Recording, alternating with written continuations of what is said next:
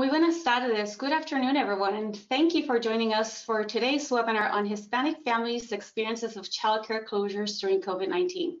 My name is Maria Ramos Olazagasti, and I lead the building capacity activities of the National Research Center on Hispanic Children and Families, and I'm delighted to be facilitating this webinar today. Before we begin, I'd like to go over some logistics. All attendees are going to be muted throughout the webinar. However, you can type in questions for the panelists in the question box. And finally, this webinar will be recorded and available on our website later, so please um, check it out and share with your networks if you like what you hear today. Also, please tweet. We're going to be live tweeting, and when you do so, use the hashtag NRCHComunidad and our Twitter handle at NRC Hispanic in your tweets.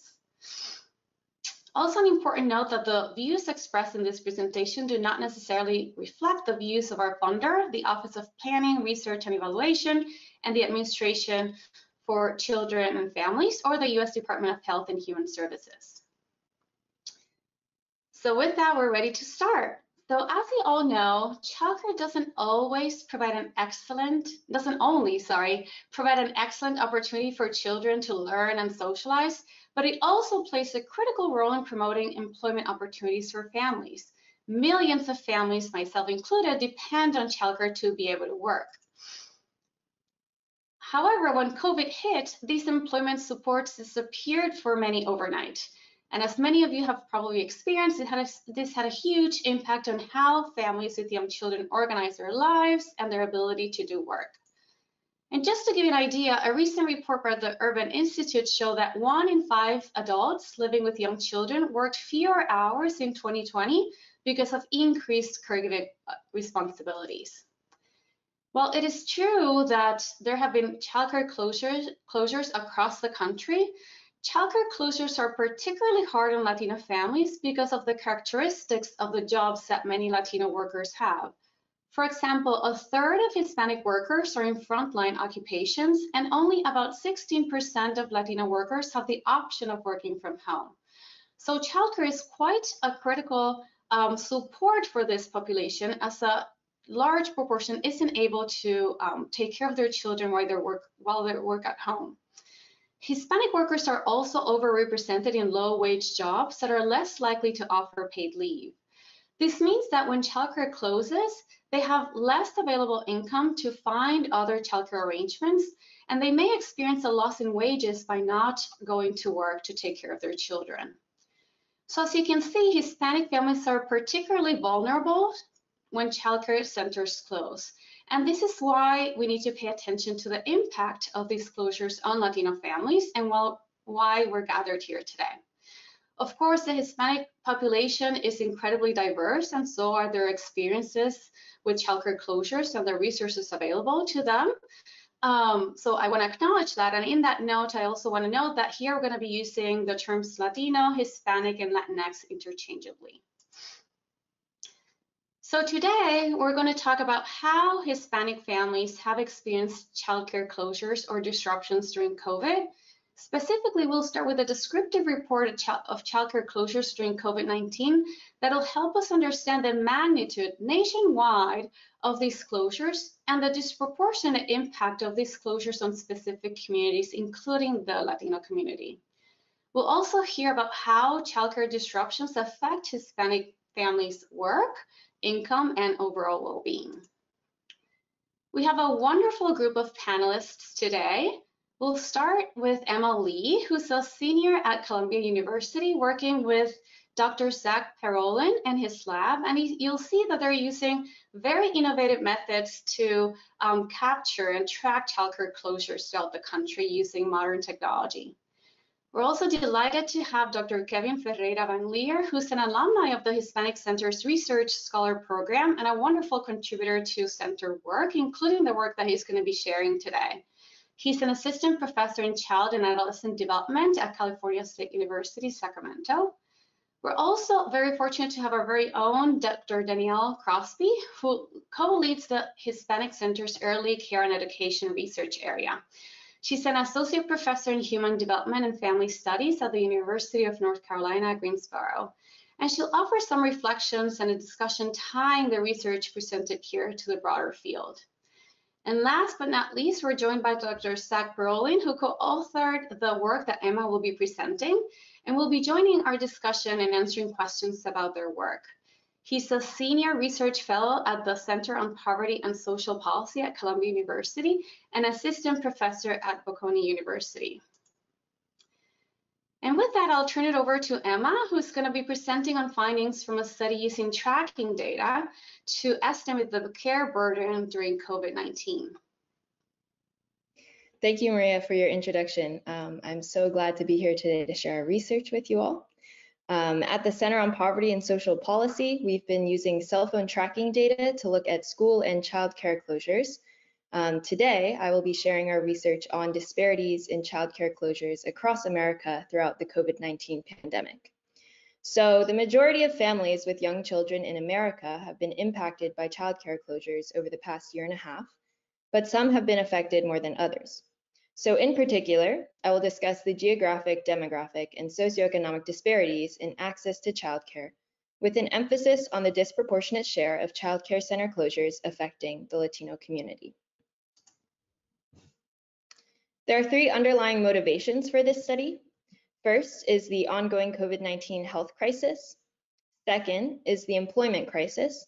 So in April 2020, after the onset of the pandemic, unemployment reached 15% in the United States. This is an 11.5% rise in unemployment compared to the pre-crisis level of only 3.5%. By April and May 2020, the share of children with unemployed parents also reached record highs. Inequalities in unemployment have widened between women and men.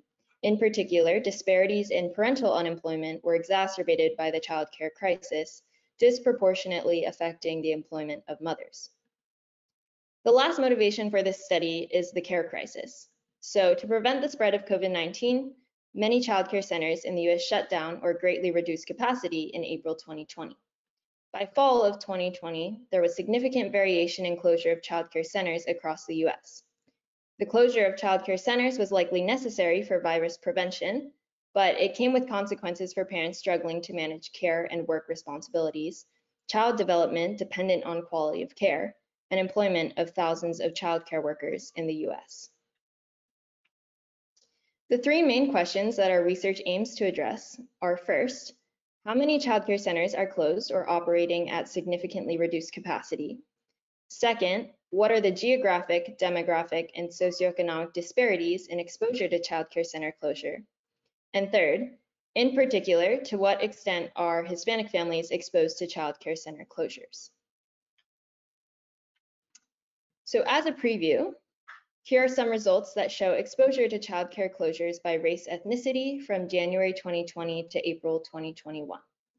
The smooth black line represents the national average, and we see that white families, indicated by the light gray line, are affected by childcare closures less than the average US family.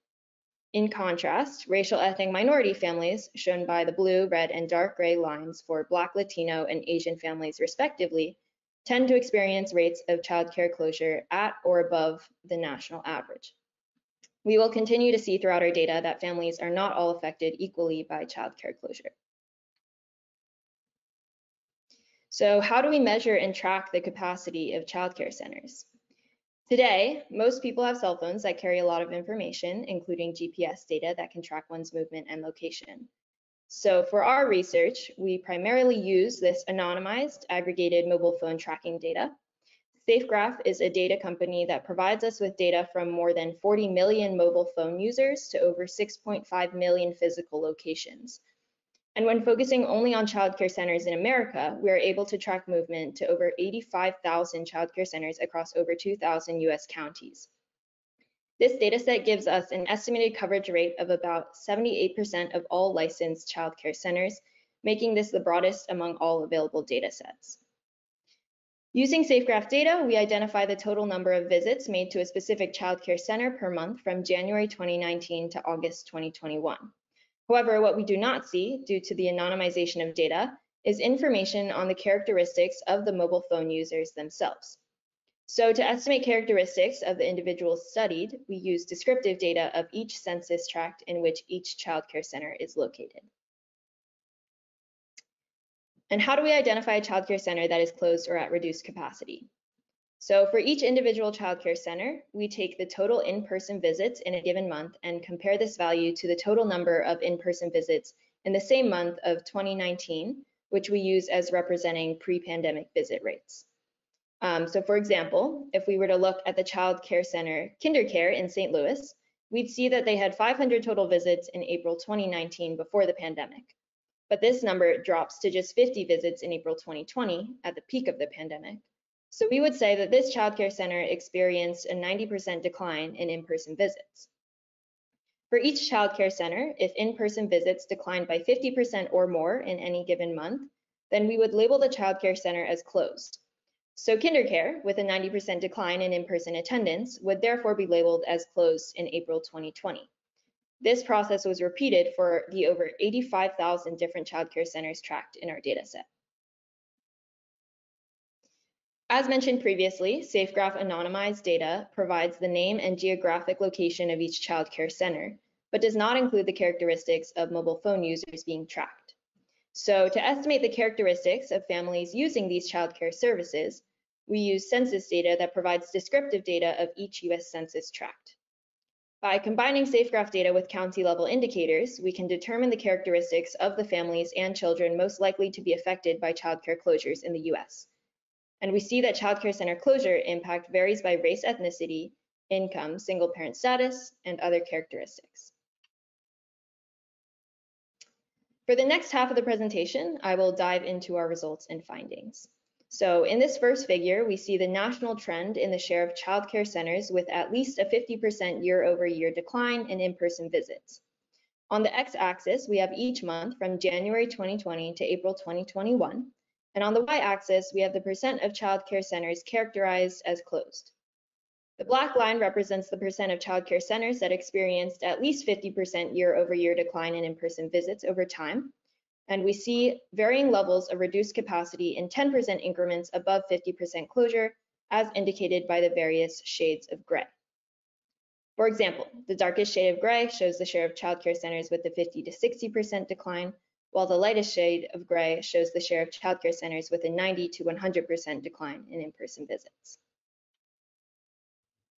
We see that the first major peak in childcare closure occurs in April 2020, with almost 70% of childcare centers having greater than a 50% decline in in-person visits. This peak closely aligns with the first wave of COVID-19 cases in the US, when many states were issuing mandatory stay-at-home orders. By April 2021, the percentage of closed childcare centers had decreased to one third of all centers. And we also see a slight rise in closure in December 2020, possibly due to a new wave of COVID-19 cases in the US in December. Overall, we see significant rates of childcare closure over the course of the pandemic, with the greatest rate of closure in April 2020 at the peak of the pandemic. Here we see the geographic distribution of childcare closure across the US from April 2020 to April 2021. We notice significant variation in the coloring of this map, indicating differences in childcare closure across counties. So for each county, um, it is color-coded according to the average decline in in-person attendance across childcare centers in that given county. The darkest shaded counties experienced 15% or more decline in in-person visits, while the lightest shaded counties experienced less than a 20% decline in visits. We also see some gray shaded counties. Um, we did not have any mobile tracking data for childcare centers in these counties. Counties with particularly high childcare center closure rates appear to be concentrated along the coasts of California, Oregon, and Washington, as well as along the northeastern coast.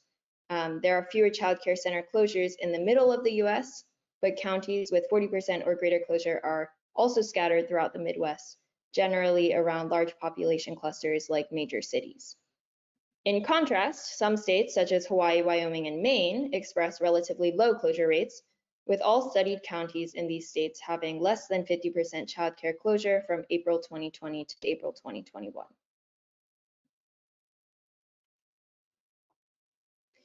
Here we revisit the initial figure I showed in more detail. So for all racial ethnic groups, we see similar trends from January 2020 to April 2021. In particular, we notice the characteristic peak in childcare closure in April 2020, But despite the comparable trends over time, there remain persistent differences in levels of exposure to childcare closure for each racial ethnic group. For example, in April 2021, 27.5% of white families were exposed to childcare closures, while 40.1% of Latino families were exposed to childcare closures. From March 2020 onward, white families have been affected by less childcare closures than the national average, while Latino, Black, and Asian families have been exposed to childcare closures to a much greater extent. For the next four slides, we will see binned scatter plots of childcare closure rates for a variety of characteristics. For each plot, the average monthly percentage of closed childcare centers from April 2020 through April 2021 is plotted on the y-axis, while the x-axis includes 10 points representing the mean values of each decile for the given characteristic. In the plot shown on this slide, the leftmost point represents the mean closure rate of the census tracts with the lowest share of white families. In these census tracts, over 50% of all childcare centers were closed. In comparison, the highest decile, as represented by the rightmost point, shows the mean closure rate for census tracts with the greatest share of white families. These census tracts experienced a closure rate closer to only 30% of all childcare centers. In general, we see that as the share of white families increases, the share of closed childcare centers decreases, indicating a negative correlation. In other words, non-white families are particularly exposed to childcare closures. In contrast with the previous slide of white families, we now see a positive correlation between childcare closure and share of Latino families in a census tract. This means that as the share of Latino families increases, as do childcare closure rates. So on the far right of the plot, we see that the childcare centers serving the greatest share of Latino families show a closure rate close to 54%, whereas census tracts with the lowest share of Latino families on the left side of the subplot show closure, closure rates closer to only 30%. And we also see similar trends for the share of Asian families in census tracts. This next plot shows a U-shaped relationship between the share of families in poverty and the childcare closure rates in a census tract. This indicates that the census tracts with the lowest and highest shares of families in poverty also experience the greatest childcare closure rates. The lack of a linear relationship indicates that there is a rather complex combination of factors that may be influencing disparities in childcare closures. For this last slide of results, we plot the share of closed childcare centers by population density, measured in units of number of residents per square mile. We see a positive correlation between population density and childcare closure rates. This means that the most densely populated census tracts tend to have greater rates of childcare closure. This makes sense given our knowledge of the spread of COVID and necessity for social distancing. Due to the tendency of large high-density urban areas to have greater racial ethnic diversity and a larger resultant share of racial ethnic minority families, it is likely that population density contributed to the increased childcare closure rates seen among Latino families compared to white families. In conclusion, there are large geographic, demographic, and socioeconomic disparities in exposure to childcare center closures in the US. Hispanic families experience particularly high rates of exposure, far above the national average. These disparities risk the widening of pre-existing disparities in access to the already limited supply of childcare services in the US. This may translate into further inequalities in parental unemployment, child development, and the survival of childcare centers. We hope that our findings will spur future research, and to facilitate this, we make our data publicly available. This data is updated monthly and provides estimates on the share of childcare centers that exhibit 25, 50, and 75% declines in in-person visits at the census tract, county, and state levels. My co-author and research mentor, Zachary Parolin, and I would like to thank the Hispanic Center for having us today. Thank you so much, Emma, for that wonderful presentation. It's great to see how cell phone tracking data is being used in social science research to help us understand the magnitude of um, childcare closures and how it affects different communities.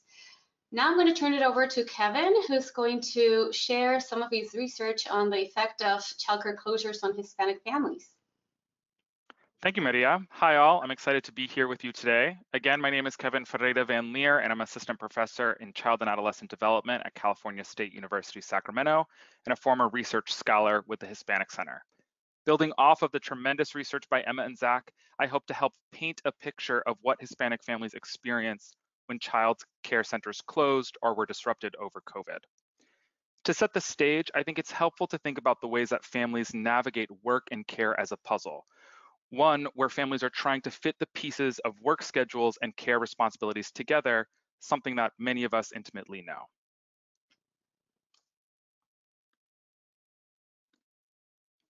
My apologies. Some tech issues on my side. All right.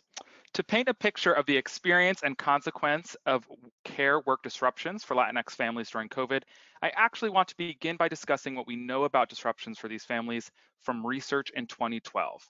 By starting in 2012, we might get a better idea of why Latino families were disproportionately impacted, and it may help us as we look forward.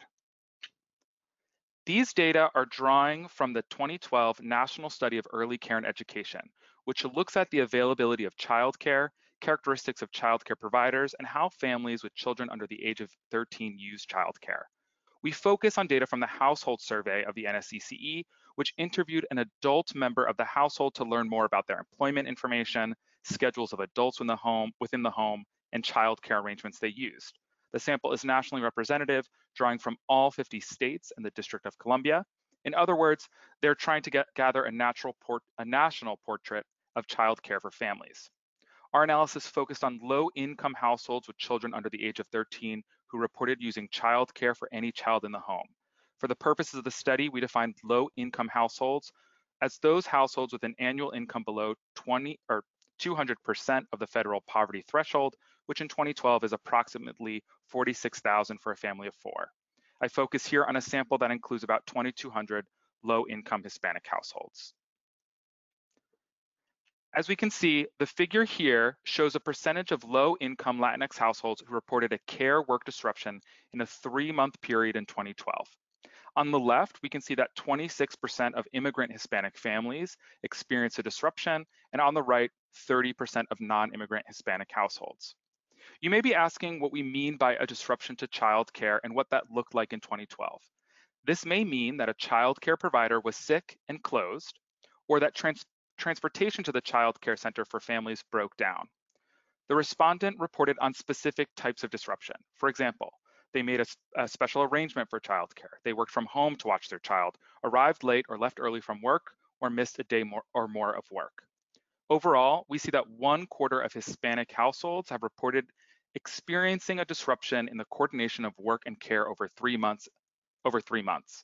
In other words, care work disruptions were common among Hispanic low-income families in 2012, even before COVID. Further, we were able to learn from respondents how often these disruptions occurred over that, those last three months. Here we see that for low-income households that experience a disruption, these disruptions were frequent. Looking at the striped purple and spotted green sections of the figure, we see that those who went through a disruption ex reported experiencing this on or for more than five days during that three-month period. This is the equivalent of experiencing a disruption for a total of one work week or more during each quarter or three-month period. In other words, for those families who went through a disruption, these disruptions were happening regularly for many of these families. So now let's talk about how those disruptions impacted their financial well-being. Starting on the left-hand side of the slide, households reported that whether that whether childcare work disruptions lost pay as a result of that disruption. Specifically, those having missed a day of work, as seen in the orange bars, or arriving late or leaving work early, as seen in the purple stripes, were asked whether they, whether they were lost they lost pay as a result. Here we found that among those households who reported missing a day of work, again, those orange bars, at least 65% lost pay as a result. We find that at least 56 of these percent of these households um, across nativity, nativity status for low income Latinx families lost pay as a result as well, as shown in those purple striped bars. Overall, nearly half of these Latinx low income households who experienced a disruption that impeded their work schedule lost pay as a result. On the right hand of the screen, we try to estimate what this means for a low income Latino family. In the state of Pennsylvania, a building cleaner would lose an average of $11.52 for every hour of work missed time, or $100 a day for work missed. Missing 20 days would result in losing approximately $1,800. For context, the average income for a low-income Hispanic family in the NSECE sample was 22,000. This research from 2012 demonstrates that for low-income Latino families, disruptions were common and frequent and for many had financial consequences. As you can see, Latino families, particularly low-income Hispanic families, already struggled with the puzzle of fitting childcare and work arrangements together and were on shaky grounds. I'm going to now turn to a more recent analysis which provides a closer look at the disruptions during COVID-19. So let's fast forward from 2012 to this year, 2021. These data are drawn from the Household Pulse Census uh, Household Pulse Survey, a Census Bureau initiative that gathers nationally representative data on how the COVID pandemic has impacted households and individuals within the US. Our sample includes approximately 37,000 households with children under 18 who reported whether, whether the pandemic impacted their childcare between April 14th and June 7th, 2021. As a reminder, that was this spring or this last spring when many schools and childcare centers were opening up for many. Those who reported a disruption reported on their approaches to those disruptions. It's important to note that this data includes families of all incomes, not only low income families. First, households with children under 18 were asked whether their child was unable to attend daycare or another child care arrangement in the last four weeks because of the coronavirus pandemic. Respondents were asked between April 14th and June 7th, capturing circumstances from mid-March to early June when most K-12 schools were still in session. Those families who reported a disruption were asked about the resulting approach as listed in the green square on the right-hand side. Families who reported a disruption were asked whether, in order to care for their children, any adult in the household, including themselves, used vacation, sick days, or other paid leave, cut hours, left or lost their job, supervised one or more children while working, or other. Respondents were able to select all those responses that applied to their circumstances. In mid to late spring 2021, Looking at the orange bar all the way on the left, we see that roughly one in five households with children reported a childcare disruption due to the pandemic. Again, as a reminder, in spring 2021, one year into the pandemic, many schools were reopening or had reopened.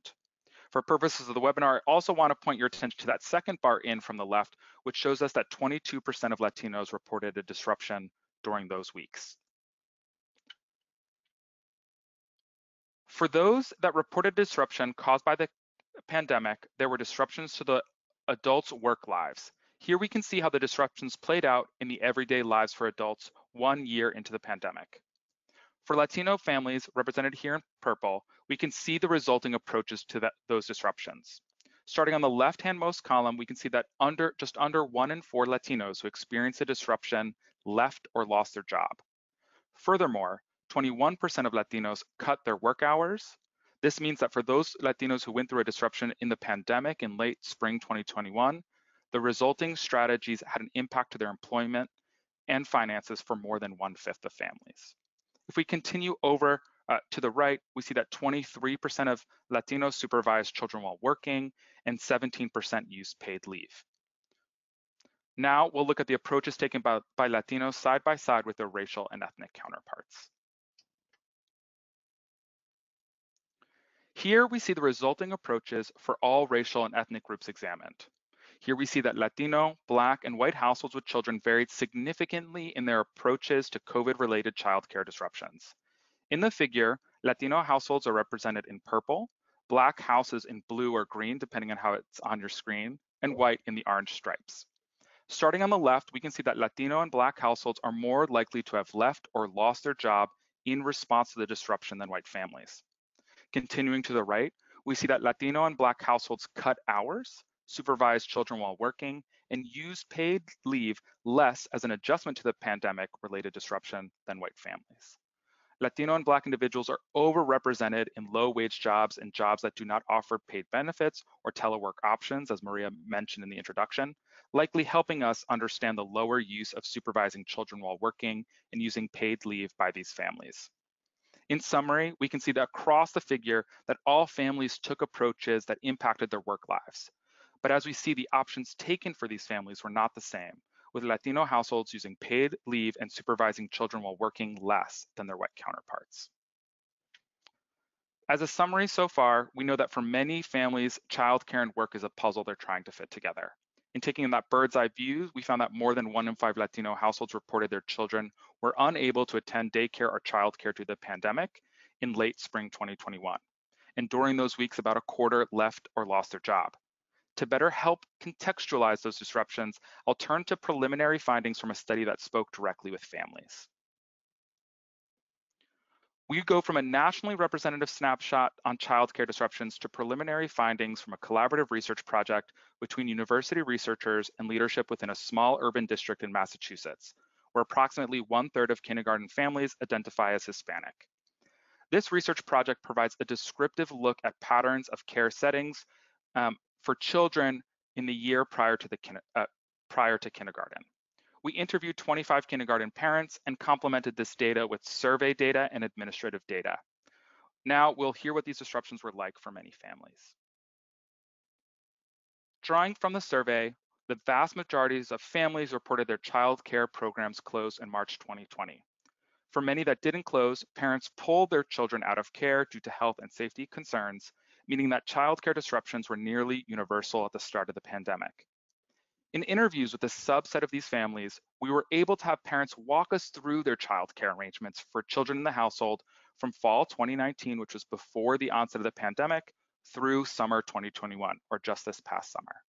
This allowed us to gather a holistic picture of care arrangements throughout the pandemic for these households, providing us greater depth into the role of the pandemic on childcare disruptions than the household pulse survey, which was at one time point one year into the pandemic.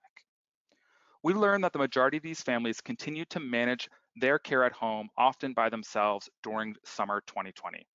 One mother shared, quote, I think they opened back up in June, but that at that point, we had all of these different situations happening.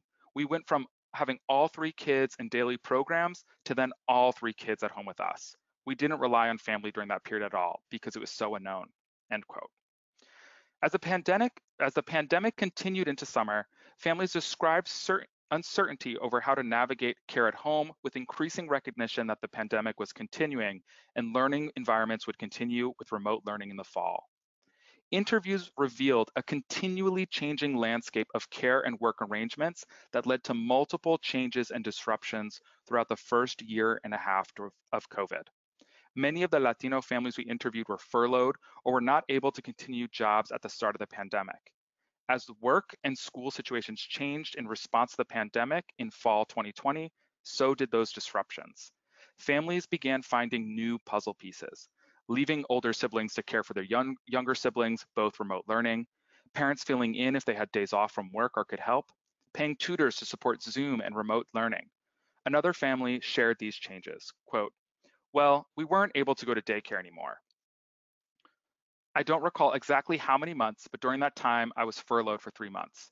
So I was with them, with her for a month, then three months, and then my oldest had to stay home with my little one. And during that time, there were two days where my mom had the day off, so she would stay with her as well. This shows how families had multiple changes and disruptions throughout care in COVID. As the pandemic continued through spring 2021, families describe the reopening process for schools as creating new disruptions, with families navigating drop-offs, changing from hybrid to full day, and managing their work schedules. Again, new puzzle pieces emerged where families hired someone who can help bring their child to school once it reopened and pick them up after care um, until they returned home from work. Briefly, I will also share that throughout these interviews, families spoke about disruptions with concern for children and themselves, Across the board, families shared that disruptions were difficult. They noted changes within the household, including observing changes in how they and their children were responding to disruptions. This included noting positive and negative changes in behavior, both within themselves and within the household unit, um, if, as they navigated these disruptions. In the pandemic, they also described their own isolation and isolation for their children, families described also creating new opportunities to connect. One family sharing creating a text group over WhatsApp called Padres Latinos, where quickly the group blossomed from 12 to over 100 parents sharing strategies for childcare as well as their concerns with different approaches to taking care of their children during the pandemic. And for time, I will wrap it up quickly. In sum, we know that for many families that childcare and work is a puzzle that they're trying to fit together. What we found is more than one in five Latino families reported childcare disruptions due to COVID in spring 2021, and during those weeks, about a quarter lost or left their job. We learned from interviews that these disruptions likely cascaded throughout the pandemic as families navigated changes in work and care situations. Together, these data reveal that the consequences of this pandemic and disruptions like it have for family, leading to the puzzle crumbling when families can't get to work or care for their children. And with that, I would like to thank you for listening, and you can find my contact information on the screen as well as links to the Hispanic Center if you'd like to reach out and learn more. And I'll now turn it back over to Maria. Thank you so much, Kevin. That really helped us um, see how oftentimes carefully planned childcare arrangements can fall apart over and over again, but how families are able to um, figure it out and rely on each other to make it work. Um, I'm going to now turn it over to Dr. Danielle Crosby, who's going to help us make sense of all this research that's been shared today by putting it into context and help us identify how to move forward. Danielle? Thank you, Maria. And thank you, Emma, Zach, and Kevin for sharing your insightful work. I really appreciate the multiple vantage points that this collection of studies brings to the conversation. So I'd like to begin my comments with just a few big picture reflections before considering how do we move forward from here. So inequitable systems and structures have long required low-wage working parents, especially in Black, Brown, and immigrant families, to coordinate employment and caregiving under precarious circumstances in order to support their families and the U.S. economy.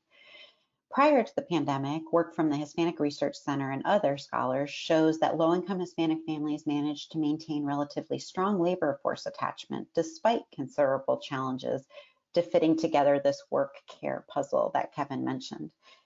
Um, the challenges include insufficient community supply of licensed care providers. So prior to 2020, we know that nearly 60% of Latino families lived in childcare deserts. Um, also, non-standard parental work hours and short advance notice of work schedule, uh, high out-of-pocket childcare costs, and then as Kevin described, care work disruptions that often resulted in missed work and missed pay. The pandemic has only served to exacerbate existing racial, ethnic, and SES-based disparities, with Hispanic parents overrepresented among frontline workers, but also among those who have left the workforce, especially Latina mothers as well as being overrepresented in communities with childcare closures and as part of the early care and education workforce. So I raise this last point because women of color make up roughly 40% of childcare providers. So when we consider how Hispanic families have been impacted by pandemic related care disruptions and job loss, I think it's important to remember those working in this sector. In fact, there's some evidence that Latino and Black owned childcare centers have been especially vulnerable to closures and may have experienced greater barriers to accessing small business relief. So as recovery efforts roll out at the federal, state, and local level, there's considerable discussion right now about a window of opportunity that we might have to do more than simply return to the pre-pandemic circumstances that stressed and strained so many families, and to instead build more effective, more equitable, and more sustainable supports and infrastructure for Hispanic families who are coordinating employment and caregiving. And one helpful framework that I'd like to mention that could be used to help guide policy and practice decisions is one that recognizes the multiple linked components of meaningful childcare access. Uh, so that is care that is available to families with reasonable effort, childcare that is affordable, care that supports children's developmental needs, but also meets a, a range of what families need, um, including things like parents' work schedule um, and language and concerns about safety. That's just a few examples. So this conceptualization of childcare access is often used to consider how parents find and secure childcare arrangements, but I think it's also useful for considering what families need to maintain care over time. So informed by this framework, I'd like to highlight just a few evidence-based recommendations for how we can begin to recalibrate and enable families to better coordinate employment and caregiving while also supporting their health and well-being. Um, I believe Kevin mentioned families' need for both flexibility and stability. And though I know very little about architecture, it struck me that often physical structures need to be designed with both of those goals in mind to maintain their strength. And that this takes intentional planning and attention to how different elements fit together. Um, so while I don't want to push this analogy too far, uh, I'd like to make the broader point that the strategies I'm mentioning should be considered as part of a comprehensive approach. Um, one such strategy is to expand the federal and state childcare assistance that already exists in order to help more families be able to afford childcare. Um, publicly funded preschool programs already serve a substantial number of Hispanic children. However, these programs do not always fully cover working parents' childcare needs, and only a small percentage of eligible, eligible Hispanic children are served currently by the CCDF Childcare Subsidy Program. Um, in addition to expanded funding, it would help to make childcare assistance more flexible, especially as we emerge from the pandemic and continue to deal with its impacts. So to the extent that benefits are less dependent on parents' work status and hours and cover a broad range of arrangements, they may better support parents, especially mothers who are trying to reestablish employment. We also need to ensure that the recovery safety net is more inclusive to serve all families. Many of the same types of barriers that we know interfered with some Hispanic families' access to services pre-pandemic have led them to be excluded from emergency relief and recovery supports, and this has been especially true for families within immigrant households. And last but not least, it's important to attend to the employment side of this equation um, and promote family-friendly workplace policies that help mitigate disruptions and support greater continuity for parents and children um, and employers, such as paid leave and more employee-centered scheduling practices. And new investments and policy strategies will also be critical in the childcare sector. So without significant intervention, disruptions and closures are likely to persist as providers and programs struggle with reopening that has happened in fits and starts and stops, um, increased costs and decreased revenues, permanent closures and staffing shortages. And we've, as we've heard today, all of this instability has significant consequences for families. Additional public investment should help stabilize, sustain, and build up childcare supply, especially in Black, Brown, and immigrant communities. So the challenging economics of childcare that many, us, many of us may be familiar with, where wages are low and benefits are few um, for providers, but costs are often very high for parents, um, have only worsened during the pandemic. And we know this is not the winning formula for promoting the high quality, stable early care and education that can benefit both children and parents. And new investments should target supply gaps in particular that have only widened during the pandemic. So for example, providers that offer non-standard hours and care for infants and toddlers. Then in terms of growing and supporting the ECE workforce specifically to improve capacity, stability, and quality of care, strategies are needed that promote livable wages and benefits, build capacity for culturally and linguistically responsive services, increase professional development and supports related to health and mental health. And um, I think it's important to emphasize that I'm thinking of both for providers, but also for the children and the families that they serve, um, all of whom have who have endured um, considerable stress, transition, uncertainty, and trauma um, at the intersection of the three crises that Emma mentioned in her talk. We think about the health crisis, the employment crisis, and the, the childcare crisis. Uh, and finally, I recommend strategies that extend resources, training, and supports to more home-based providers who provide critical services to so many low-wage working parents and who have helped to fill the gaps during the pandemic. So finally, I'd like to just wrap up my comments with some thoughts about general next steps for research in this area, though I'd love to hear additional thoughts about this from both our panelists and the audience. Um, first, we should ensure that data is being collected that can help track the ongoing impacts of the pandemic and recovery efforts from an equity lens. Uh, so some of these data needs include demographic data related to service provision across states and local communities. And there may be interesting opportunities here to combine those types of data with the innovative data that was described by Emma and Zach.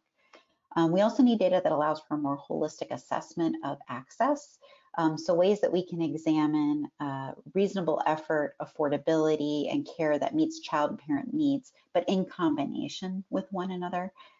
Um, and I'd also like to see additional studies that can inform building childcare supply that meets what Hispanic families need and want, with particular attention to the substantial heterogeneity that exists within the pan-ethnic Latinx population as well as research that can help design policies and practices that support the resourcefulness of families in coordinating work and caregiving. Um, it was fascinating to hear Kevin talk about how communities use WhatsApp to share information and strategies. And it also seems that community-based organizations may be an under-tapped resource uh, that can help broker connections between Hispanic families and services. Finally, I believe that many of these next steps will benefit from greater incorporation of community engaged and community informed methods, which can help center the voices of Latinx families and childcare providers, as well as other stakeholders. So with that, I'll end my comments to leave us time for discussion. Um, we would love to hear your questions and comments, so please submit those in the chat. And we'll get to as many as possible in our time left today, but we're also collecting those so that we can reflect on them after the webinar.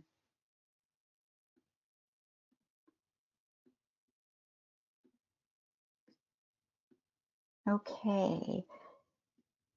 And I will start us off with a couple questions for our panelists. Um, so Emma and Zach, do you have thoughts about the increased childcare closures in communities with a large proportion of Latinos?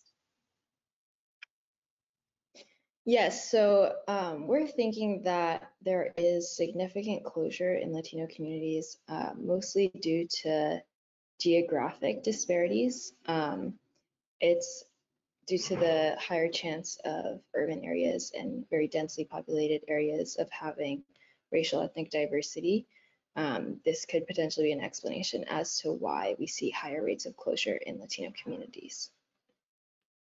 And I would only add that um, that that the disparities we see are appear to be showing up in other dimensions as well. Kevin talked about several of them in, in his presentation, but we see disparities in employment outcomes. We're seeing disparities in food hardship and poverty rates among Latino families relative to to other families.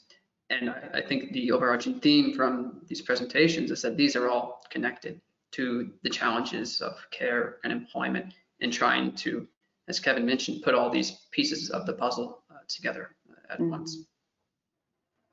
Yeah, thank you. Um, and I think as we continue to try to track these disparities and um, you know know what's going on in communities, I was just wondering a follow-up question for Emma and Zach about the potential of these types of data um, it's great to hear that you're updating that particular data set. And I just wondered if you had thoughts or recommendations about how um, those data might be used by others or in combination with other data.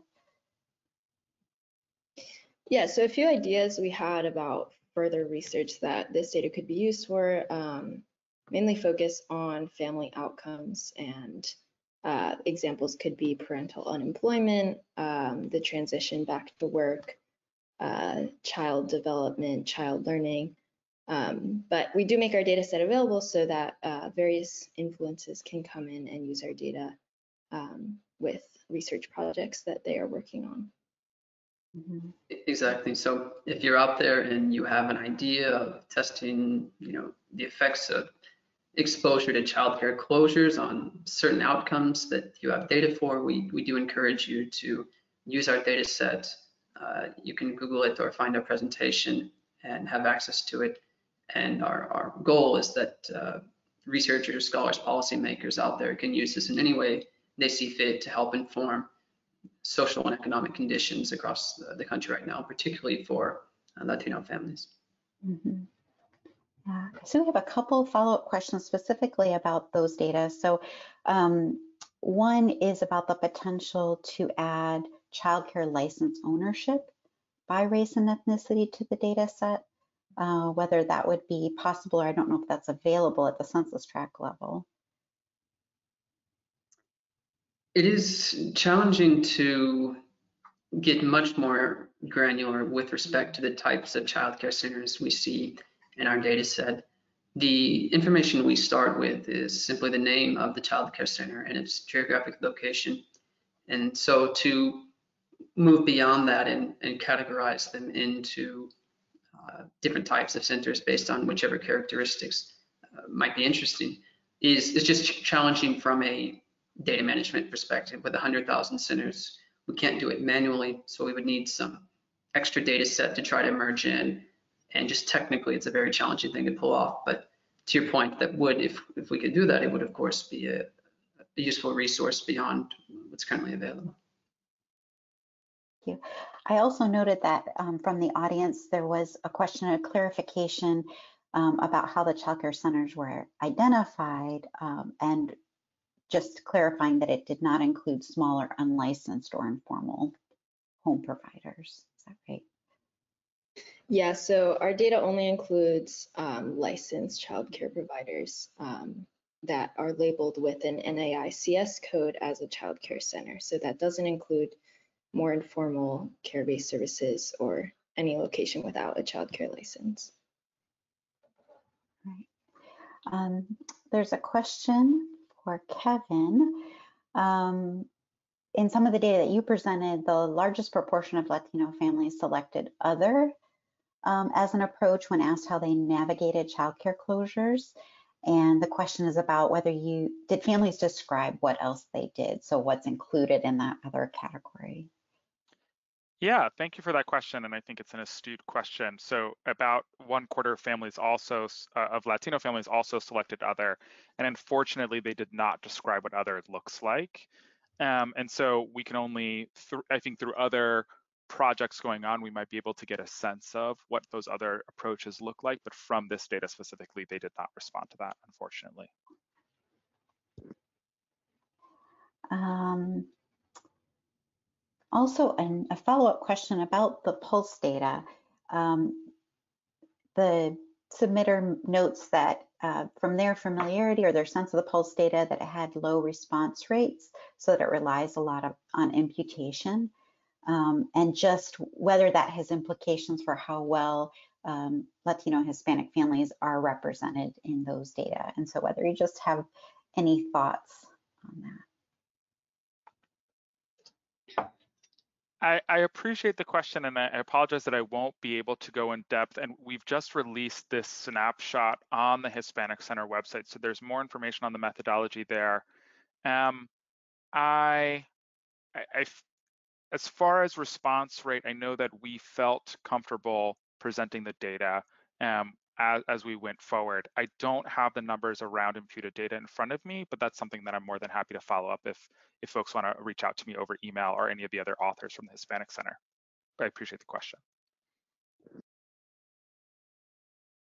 Um, I have a question for Emma and Zach about whether you conducted any analyses to verify the assumption that reduced activity at a center in fact reflects closure um, since a reduction in visits could reflect changes in families' use of care during the crisis.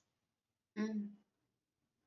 Yep, so there's a, a couple things uh, we've done. First, when we do talk about closures, uh, as, as, as uh, Emma noted a few times in the presentation, we are referring broadly to closures or reduced capacity. And the person posing this question is absolutely right that this reduced capacity could, in reality, just be that fewer families are sending their children to formal childcare centers, perhaps due to their own assessment of the risk of uh, the, the, virus uh, and so on. Uh, that's certainly possible. In, in many other cases, through our cross checks, we've been able to establish pretty clearly that the centers that see strong reductions in capacity, according to our data, are indeed those that are, particularly during the early parts of the uh, pandemic are indeed those that were required to shut down or place capacity limits on their work. We've also done some work on school closures in a, a separate study, and there we were able to validate across, uh, I forget how many tens of thousands of schools, and also found that our data were uh, reliable and, and assessing based on our 50% benchmark of, of, closure, whether those schools were indeed closed. And in, across that data set as well, we found evidence to support the, um, the claims made here. So we're pretty comfortable in making these claims, but the, the person posing the question is absolutely right that it could also reflect to some extent uh, apprehension on behalf of the families for sending their children. Thank you. Um, and Kevin, uh, your thoughts on whether closures across the country um, potentially further harm the relationship between families and childcare, um, such that families may not return to centers due to the instability that they've experienced.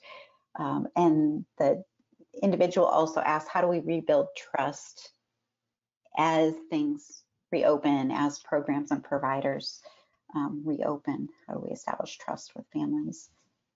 Yeah, I, I appreciate those questions, and I'm I'm going to draw on the one project I presented, and we're also currently speaking to community-based organizations in North Carolina about um, Latino-based community-based organizations. Um, and, and I think that's going to inform some of what I said. So if the if I understood the first question about the breakdown of potentially relationships, I I have to admit in my interviews with family and my conversations, as well as just my general exposure to families looking for childcare, is that families, as we saw throughout, were continuing looking for new arrangements that met their needs. And that often that meant multiple strategies arrangements throughout the pandemic. So I don't think families relation I, don't necessarily think that trust has been broken in that I think many families because of the necessity are going to be looking for new arrangements and arrangements that work for them. That said, from these same set of interviews, and again, we're only um, we've only completed a preliminary analysis.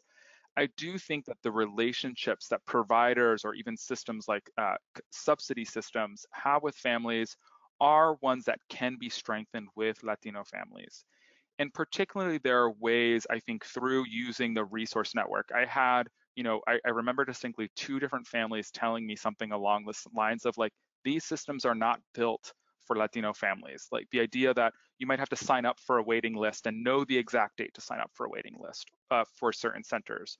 Or that there were many people who didn't know and they they spoke that they only were connected to early head start through a promoter model in the local playground. So borrowing from health promoter models of folks going out in the community and talking about different options another parent approached her and, and gave her information about early head start and that availability for families. And i heard from both community-based organizations and some families that we need to be doing more things like that go to the places where these families are and talk to them in in the channels that they know how that they're familiar with about um, the the types of care that is available to them and the programs that are available to them, whether that's food banks, churches, local organizations, or just the playgrounds in their neighborhoods. Thank you. Well, as we are running out of time, I just wanted to say my thanks to the entire panel and for the audience for joining us this conversation. I think I'm going to turn it back over to Maria. Yes, thank you so much to our panelists and our audience. Um, I'd also like to um, thank our funder at the Office of Planning, Research and Evaluation and the Administration for Children and Families and the U.S. Department of Health and Human Services. And um, please um, go to our website and tweet and email us if you have any questions. And we hope you have a very great day. Thank you so much for joining us today.